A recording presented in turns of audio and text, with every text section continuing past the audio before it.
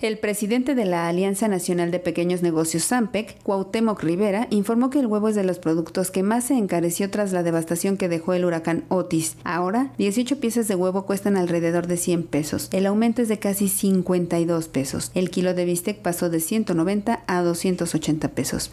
Si tú encuentras el tomate ahorita en Acapulco está 31 pesos más caro.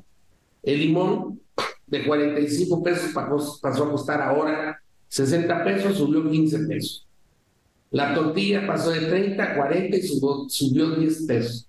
Al día de ayer, en el momento de la crisis, llegó a vender más caro. La, en la leche, el litro de leche, de 29 pesos a 40 y subió 11 pesos. Además, para obtener una despensa de las que entrega el gobierno federal a las personas damnificadas, les puede tomar hasta cuatro horas. Y lo que se está viendo en Acapulco eh, en este momento es que los esfuerzos del gobierno federal están centrados y concentrados en el ejército, en la Serena.